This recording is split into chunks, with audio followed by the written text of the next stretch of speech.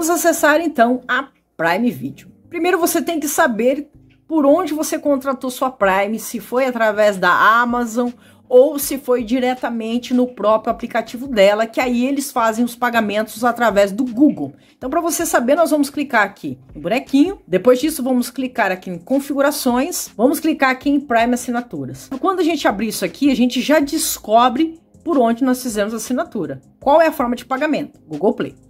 Então, você não pode fazer o cancelamento através do site da Amazon. Você tem que fazer o cancelamento através da Google Play. Então, se você clicar aqui, você vai perceber que vai pedir senha da onde?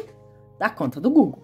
Então, a gente não vai acessar aqui não. Nós vamos fechar aqui e vamos achar aqui a Play Store e vamos acessar a Play Store. Aqui, como você já está logado, você vai clicar na sua fotinha. Aqui você vai clicar em assinaturas. Aqui aparece a Prime Video. Então, eu vou clicar aqui na Prime Video, porque eu quero cancelar a Prime Video.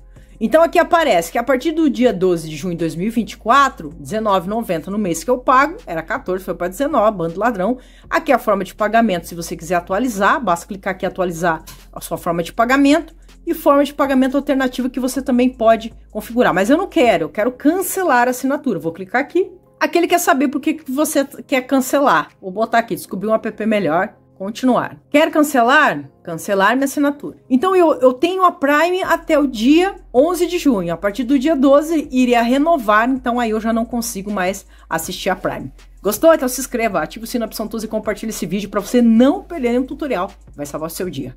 Até o próximo tutorial. Tchau, tchau.